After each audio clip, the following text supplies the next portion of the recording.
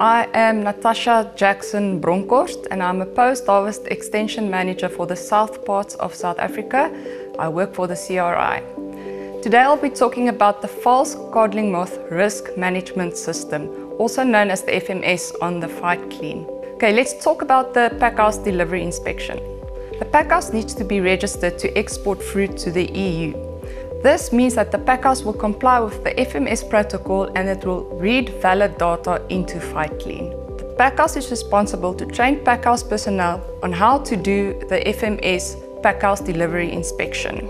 Training records of packhouse personnel responsible for the packhouse delivery inspection needs to be available for possible inspections or auditing from Department of Agriculture, Land Reform and Rural Development.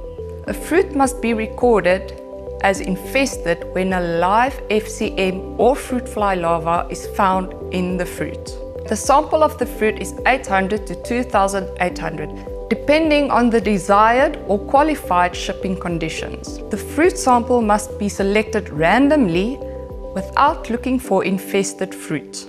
All fruit with suspicious marks that could possibly be indicative of FCM or fruit fly penetration and all fruit injuries that could have facilitated easier penetration of FCM or fruit fly should be inspected closely. This includes all navels that has a navel split end. No matter how small the navel split end, you should still inspect the fruit closely. Fruit with no observable external damage does not need further inspection. The procedure for fruit inspection is the following. Take the fruit and a magnification glass and inspect the fruit for any possible entries of FCM or fruit fly. All fruit found with suspicious marks should be cut in thin slivers to find even the smallest penetration of any fruit fly or false codling moth larva. Continue cutting into the fruit until you have confirmation of infestation or no infestation in the fruit itself. This procedure must be followed for all the fruit that you found in your sample with suspicious marks. Thereafter, the fruit must be cut into quarters to find if there is any infestation inside the fruit.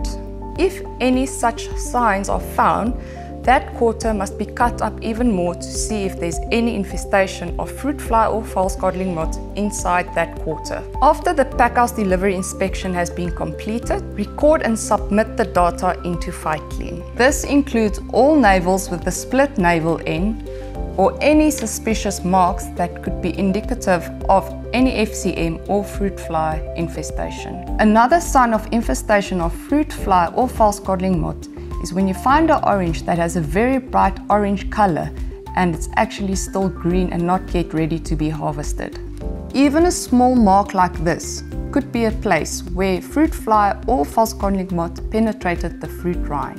That's why we need magnification glasses.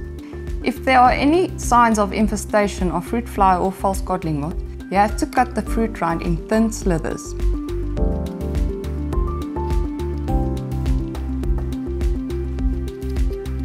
It does look like there is some infestation, but we might have to cut in a little deeper to find uh, or to be sure that there definitely is something under the skin. Careful not to cut the larva.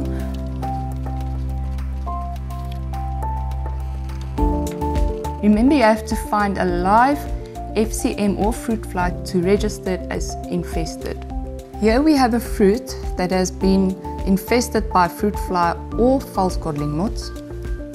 So we cut it into thin slithers. There definitely is something there, or if this fruit was picked up from the ground, the larva might have gone back into the soil, waiting for the next cycle.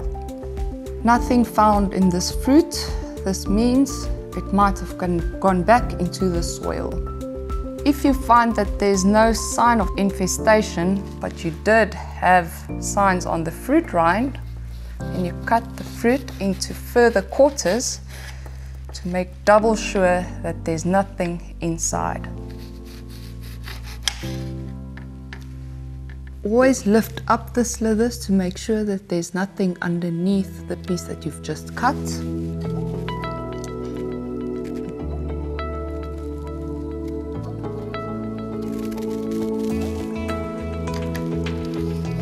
Cut the fruit into quarters for further inspection.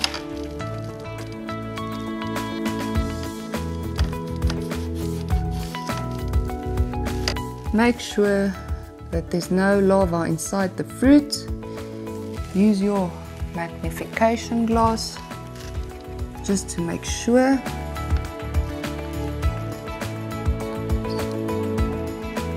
Once you have found some larva inside your fruit, be sure to correctly identify this larva. Fruit fly, vinegar fly, false codling moth and carob moth all have similar traits. So send some samples of these larvae to your local laboratory or to CRI laboratory in Stellenbosch or Nelspruit for identification if needed. This is why it is very crucial that the packhouse delivery inspection personnel must be trained to do this packhouse delivery inspection. They need to be able to identify these pests inside the fruit. If there are any inquiries, please contact your local extension manager. Thank you.